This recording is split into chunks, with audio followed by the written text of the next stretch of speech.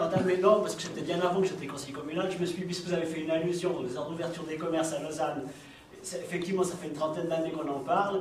Ça faisait pas une trentaine d'années que j'en parlais, parce que ça me vieillirait quand même encore un peu plus, mais euh, ça fait en tout cas une quinzaine d'années que j'ai déposé une question sur ce sujet. On y a répondu, je crois, cinq ans plus tard. J'avais déjà démissionné de Lausanne, puisque euh, à Puy. Puis encore, je crois qu'on a répondu à côté de la question, mais j'étais pas là pour, évidemment en parler. Mais c'est pas là où je voulais en venir ni même sur ce que je veux dire encore maintenant en passant. Alors je ne suis pas un, fin euh, euh, partisan du système fiscal qui avait été mis en place par City Management, je l'ai combattu à titre professionnel, je ne pas dans les détails, apparemment avec un certain succès, en tout cas pour l'instant en tout cas, euh, mais le système à mon sens était boiteux. Mais ça, je le dis juste en passant, pour dire que maintenant je vais dire des choses plus positives mais je voulais quand même euh, dire ça précisément. Encore, encore une petite, euh, peut-être une critique avant d'être décidément positif.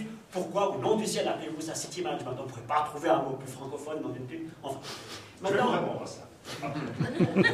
Il va répondre. Ah, bon, d'accord. Mais ça, il y a une réponse. Pour moi, je, je donne mon avis. Je suis Mais moi, je quand même, si vous voulez. Mais m'adresser à madame, et je trouve qu'elle s'est exprimée avec beaucoup de clarté et, d'intelligence, et, j'aimerais quand même la rassurer, euh, pour lui remonter le moral, n'est-ce pas, puisque euh, M. Masca n'est pas là pour lui remonter le moral. Moi, je vais au moins essayer, et pour vous dire liberté d'association, la liberté de réunion, elle est garantie par la Constitution fédérale, elle est garantie par la Constitution cantonale, et dans une ville, vous avez le droit de vous réunir. Et évidemment, ça prend du temps.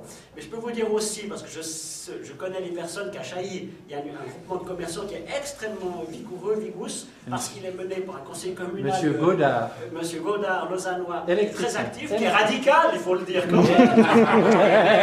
c'est le moment où j'avais un peu de même s'il y a des sympathiques libéraux à côté, on est, on est presque mariés, n'est-ce pas euh, Enfin, pas que c'est en l'occurrence, mais.